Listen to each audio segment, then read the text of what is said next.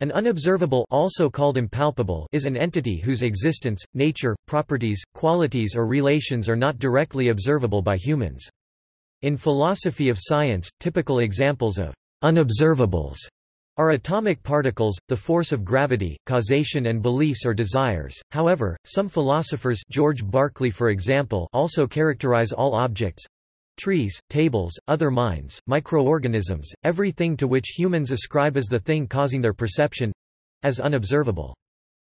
Unobservables is a reference similar to Immanuel Kant's distinction between noumena things in themselves, i.e., raw things in their necessarily unknowable state, before they pass through the formalizing apparatus of the senses and the mind in order to become perceived objects and phenomena the perceived object. According to Kant, humans can never know noumena, all that humans know is the phenomena. Kant's distinction is similar to John Locke's distinction between primary and secondary qualities. Secondary qualities are what humans perceive such as redness, chirping, heat, mustiness or sweetness.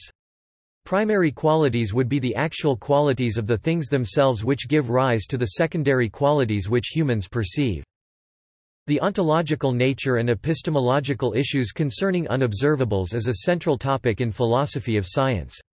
The notion that a given unobservable exists is referred to as scientific realism, in contrast to instrumentalism, the notion that unobservables such as atoms are useful models but don't necessarily exist. W. V. Metcalf distinguishes three kinds of unobservables. One is the logically unobservable, which involves a contradiction. An example would be a length which is both longer and shorter than a given length.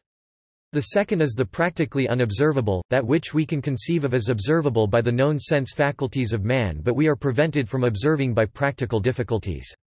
The third kind is the physically unobservable, that which can never be observed by any existing sense faculties of man.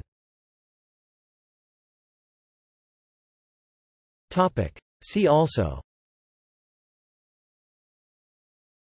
Empiricism Logical positivism Phenomenology Rationalism Hidden variable theory Object of the mind.